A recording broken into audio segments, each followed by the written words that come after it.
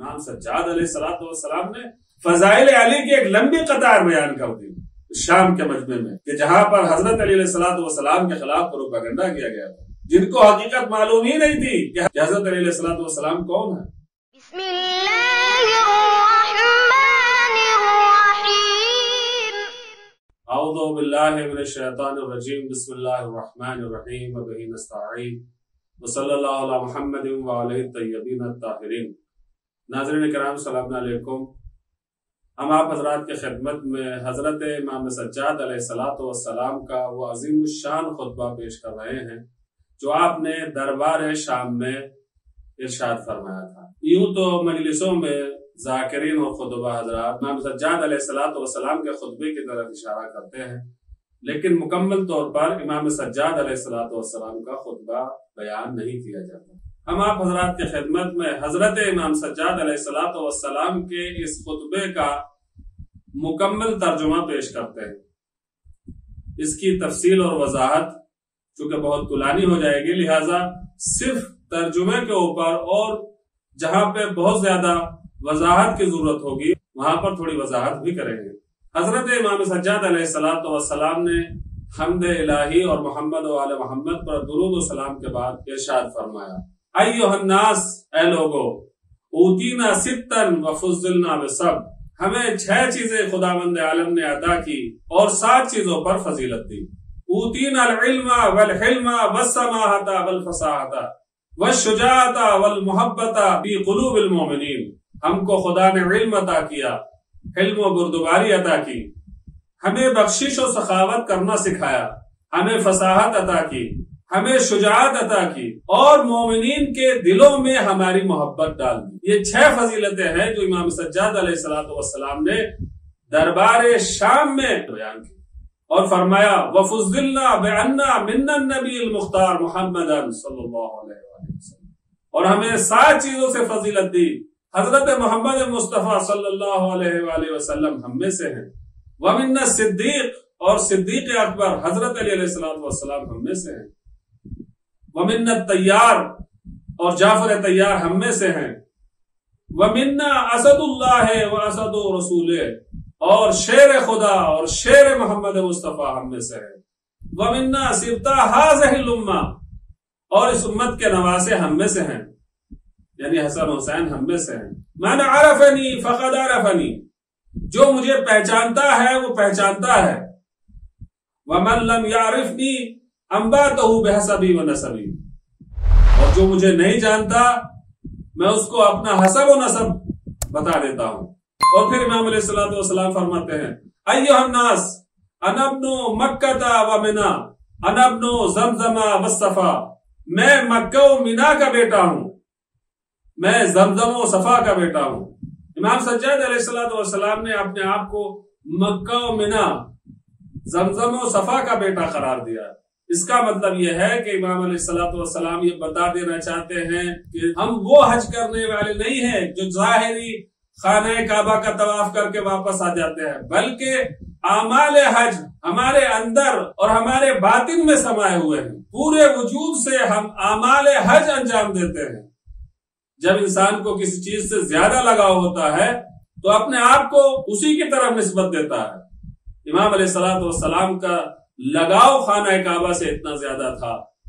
خدا بند عالم کی ذات سے اتنا لگاؤ تھا کہ آپ نے متعدد حج پاپیادہ انجام دیے۔ اور بعد میں فرماتے ہیں، میں اس بزرگ کا بیٹا ہوں جس نے حجر اسود کو اپنی ابا سے اٹھا کر اپنے مقام پر رسم کیا۔ میں بہترین عالم کا بیٹا ہوں۔ میں اس عظیم ہستی کا بیٹا ہوں جس نے احرام باندھا اور طواف کیا اور صحیح بجا لائے۔ میں بہترین طواف کرنے والوں پر اور بہترین لبیک کہنے والوں کا بیٹا ہوں۔ میں اس بزرگ ہستی کا بیٹا ہوں کہ جو براق پر سوار ہو کر میراج پر گئے۔ میں اس کا بیٹا ہوں جنہوں نے میراج کی شب مسجد الحرام سے مسجد الاقصا کی طرف سیر کی۔ میں اس ہستی کا بیٹا ہوں جن کو جبرائیل صدر المنتہا تک لے گئے۔ میں اس کا بیٹا ہوں جو زیادہ قریب ہوئے اور زیادہ قریب ہوئے۔ تو وہ دو کمان یا اس سے کمتر کے فاصلے پر تھے۔ کعبہ قوسین ہوا اتنا میں اس والا صفات کا بیٹا ہوں جنہوں نے آسمان کے فرشتوں کے ساتھ نماز ادا کی۔ میں اس رسول کا بیٹا ہوں جس کو خدا بزرگ و برتر نے وہی بھیجی۔ میں محمد مصطفیٰ اور علی مرتضی کا بیٹا ہوں۔ میں اس شخصیت کا بیٹا ہوں جس نے مشرقین اور اللہ کے نافرمانوں کی ناک خاک پر رگڑی۔ یہاں تک کہ کفار و مشرقین نے توحید کا کلمہ پڑا مسلمان ہوئے۔ میں اس عظیم مجاہد کا بیٹا ہوں، جنہوں نے حضرت کے رکاب میں دو تلواروں اور دو نیزوں سے جہاد کیا۔ یعنی حضرت علیہ السلاۃ والسلام نے دو نیزوں اور دو تلواروں سے جہاد کیا۔ علماء نے بیان کیا ہے کہ وہ تلوار جس سے آپ جنگ لڑ رہے تھے اور جب آپ کی تلوار ٹوٹ گئی تو ذوالفقار نازل ہوئی۔ لا فتح اللہ علی اللہ سیف اللہ ذوالفقار۔ یہ اسی چیز کی طرف اشارہ ہے۔ تو آپ نے دو تلواروں سے جنگ کی۔ یعنی حضرت علیہ السلاۃ والسلام نے دو تلواروں سے جنگ کی اور آپ نے دو بار ہجرت کی۔ اس سلسلے میں علماء کرام نے بیان کیا، ایک مکہ سے مدینے کی طرف ہجرت اور دوسری ہجرت کے بارے میں مدینے سے کوفے کی طرف ہجرت یا شیب ابو طالب کی طرف ہجرت کو بیان کیا ہے۔ اور دو بار رسول اللہ کے ہاتھ پر بیعت کی۔ حضرت علی علیہ السلام والسلام نے پہلی مرتبہ بیعت رضوان صلح حدیبیہ کے موقع کے اوپر انجام دی۔ اور دوسری بار فتح مکہ کے موقع پر بیعت کی۔ یہ آپ کا ایک امتیاز تھا۔ میں اس کا بیٹا ہوں کہ جنہوں نے رسول اللہ کے ہاتھ پر دو بار بیعت کی۔ بدر و حنین میں کفار کے خلاف شجانہ جہاد کیا اور لمحہ بھر بھی کفر اختیار نہیں کیا۔ یہ اشارہ ہے بعض دیگر اصحاب کی طرف کے جنہوں نے چالیس چالیس سال کے بعد اسلام قبول کیا۔ میں اس پیشوا کا بیٹا ہوں جو مومنین میں سب سے زیادہ نیک و صالح انبیاء علیہ السلاط وسلام کے وارث، ملحدین کا قلعہ کما کرنے والے، مسلمانوں کے امیر، مجاہدوں کے روشن چراغ، عبادت کرنے والوں کی زینت، خوف خدا سے گریا بکا کرنے والوں کے تاج۔ اللہ اکبر۔ اور سب سے زیادہ صبر و استقامت کرنے والے۔ میرے دادا امیر المومنین وہ ہیں کہ جن کو جبرائیل کی تائید و حمایت اور بیکائل کی مدد و نصرت حاصل ہے۔ یہ حضرت علیہ السلاۃ والسلام کے فضائل اس دربار میں بیان کر رہے ہیں، جہاں پر یزید کا باپ معاویہ حضرت علی علیہ السلاۃ والسلام کو ناؤز باللہ شب و شب کیا کرتا تھا۔ اور اس نے شام میں حضرت علی علیہ السلاۃ والسلام کے خلاف غلط پروپیگنڈے رائج کر رکھے تھے۔ بعد میں فرماتے ہیں، میں مسلمانوں کی ناموس کے محافظ و پاسدار کا بیٹا ہوں، وہی جو مارکین یعنی جنگ نہروان میں دین سے خارج ہونے والے خوارج، ناکسین پیمان شکن اور اہل جمل اور قاسطین یعنی صفین میں حضرت امیر المومنین کے خلاف صف آرا ہونے والے اہل ستم کو ہلاک کرنے والے ہیں۔ یعنی میں اس کا بیٹا ہوں جس نے مارکین ناقصین اور قاسطین سے جنگ کی، جنہوں نے اپنے نازم دشمنوں سے جنگ کی۔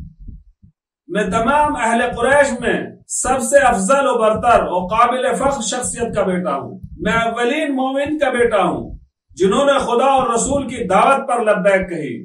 اور سابقین میں سے سب سے اول متجاوزین کو توڑ کر رکھنے والے اور مشرقین کو نیست و نابود کرنے والے تھے۔ میں اس شخصیت کا بیٹا ہوں جو منافقین کے لیے اللہ کے پھینکے ہوئے تیر کی مانند، عبادت گزاروں کی زبان حکمت دین خدا کے حامی اور یار و یاور، اللہ کے ولی عمر حکمت الہیہ کا بوستان اور علوم الہیہ کے حامل تھے۔ وہ جوان مرد، سخی، حسین چہرہ رکھنے والے، تمام نیکیوں اور اچھائیوں کو انجام دینے والے، پاک و پاکیزہ، طیب و طاہر، بزرگوار، ابتہی، اللہ کی مشیت پر بہت زیادہ راضی رہنے والے، دشواریوں میں پیش قدم، بلند ہمت اور ارادہ کر کے ہدف کو بہر صورت حاصل کرنے والے، ہمیشہ روزہ رکھنے والے، ہر برائی سے پاک، بہت زیادہ نماز گزار اور بہت زیادہ قیام کرنے والے تھے۔ انہوں نے دشمن اسلام کی کمر توڑ کر رکھ دی اور کفر کی جماعتوں کا شیرازہ بکھیر دیا۔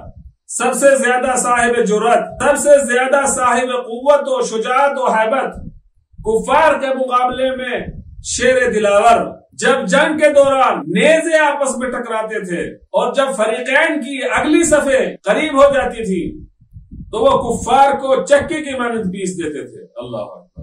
اور آندھی کی طرح ان کو منتشر کر دیتے تھے۔ وہ حجاز کے شیر اور عراق کے سید و آقا تھے، جو مکی و مدنی، خیفی و ابقی، بدری و عہدی اور شجر و مہاجری ہے جو تمام میدانوں میں حاضر رہے۔ وہ سید العرب تھے، میدان جنگ کے شیر دلاور۔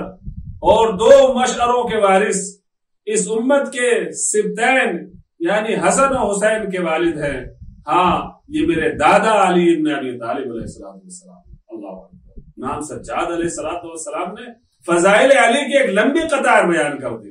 شام کے مجمع میں، کہ جہاں پر حضرت علی علیہ السلام والسلام کے خلاف پروپیگنڈا کیا گیا تھا۔ جن کو حقیقت معلوم ہی نہیں تھی کہ حضرت علی علیہ السلام والسلام کون ہے معاویہ نے حضرت علیہ السلام والسلام کے خلاف بہت زیادہ اور غلط پروپیگنڈے رائج کر رکھے تھے۔ اسی وجہ سے اگر موقع ملا ہے حضرت امام سجاد علیہ السلام والسلام کو، تو سب سے پہلے حضرت علی علیہ السلام والسلام کے فضائل بیان کیے۔ اور پھر امام علیہ السلام والسلام فرماتے ہیں ان ابن فاطمہ الزہرا میں جناب فاطمہ زہرا کا بیٹا ہوں۔ ان ابن سید النساء میں سید نساء العالمین کا بیٹا ہوں۔ ان ابن خدیجۃ الکبرا میں جناب خدیجہ کبرا کا بیٹا ہوں۔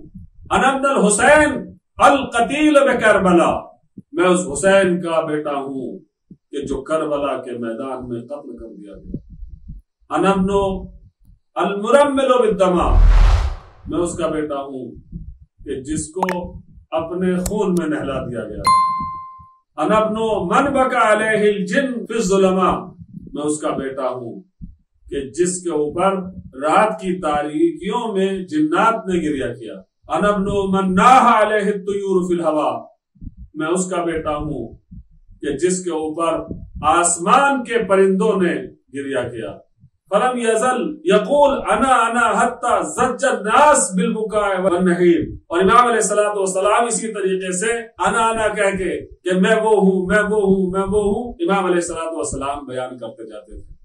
یہاں تک کہ حاضرین داڑے مار مار کر رونے لگے۔ اس موقع کے اوپر یزید کو خوف محسوس ہوا کہ کہیں لوگ اس کے خلاف کھڑے نہ ہو جائیں، اس کے خلاف بغاوت نہ کر دیں۔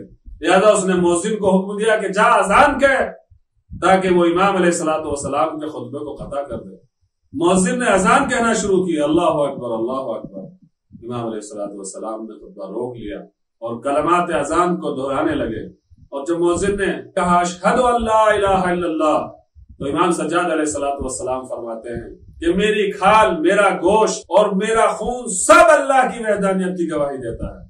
تمہاری طرح ہمارا صرف لقلق زبانی نہیں ہے۔ اور جب مؤذن نے کہا اشہد ان محمد رسول اللہ، تو ایک مرتبہ امام سجاد علیہ السلام والسلام نے اپنے سر سے امامہ اتارا اور مؤذن سے مخاطب ہو کے فرمایا، اے مؤذن، تمہیں اسی محمد کا واسطہ لمحے بھر کے لیے یہی رک جا تاکہ میں ایک بات کہہ دوں۔ اور پھر امام سجاد علیہ السلام والسلام یزید سے مخاطب ہوئے اور اس کو خطاب کرتے ہوئے فرمایا کیا یزید، کیا محمد میرے نانا تھے یا تیرے نانا؟ اور اگر تو یہ کہے کہ میرے نانا تھے تو تو جھوٹا ہے اور کافر ہو جائے گا۔ اور اگر تو سمجھتا ہے کہ رسول خدا میرے نانا تھے تو پھر تو یہ بتا کہ تو نے ان کی عطرت اور اولاد کو کیوں قتل کیا؟ اور تو نے نواز رسول حسین ابن علی کو قتل کیوں کرایا؟ اور ان کے خاندان کو اسیر کیا؟ یہ ایسا سوال تھا کہ جس کو سننے کے بعد یزید اور یزید کے درباریوں میں ہلچل مچ گئی اور اس کے خلاف آوازیں بلند ہونے لگی کہ یزید تو تو یہ کہتا تھا کہ خارجی نے میرے خلاف بغاوت کی لیکن یہ تو نواز رسول کو تو نے قتل کر ڈالا، اللہ یہ تیرے سامنے رسول کی نوازیاں ہیں کہ جن کو تو نے اسیر بنا رکھا ہے۔ حضرت امام سجاد علیہ السلاۃ والسلام کے اس خطبے سے یزید اور یزیدیوں کو رسوائی ہوئی اور اسی وقت سے یزید کے خلاف اقدامات شروع ہوئے۔ لہذا امام سجاد علیہ السلاۃ والسلام نے اس خطبے کے ذریعے سے امام حسین علیہ السلاۃ والسلام کی اس عظیم قربانی کو بچا لیا، اس عظیم قربانی کو محفوظ کر دیا۔ آخر میں ہم دعا کرتے ہیں خدا مند عالم کی بارگاہ میں، پروردگار، واسطہ محمد وال محمد کا ہمیں کربلا کو سمجھنے، مقصد حسینی کو سمجھنے اور اس پر عمل کرنے کی توفیق عنایت فرما۔ ہمیں امام سجاد علیہ السلاۃ والسلام کی طرح ظلم کے خلاف آواز بلند کرنے کی توفیق عنایت فرما۔ ہمیں امام سجاد علیہ السلاۃ والسلام کی طرح حق بیانی سے کام لینے کی توفیق عنایت فرما۔ اپنا دھیان رکھیے گا، دعاؤں میں یاد رکھیے گا۔ والسلام علیکم ورحمۃ اللہ وبرکاتہ۔ اللهم صل على محمد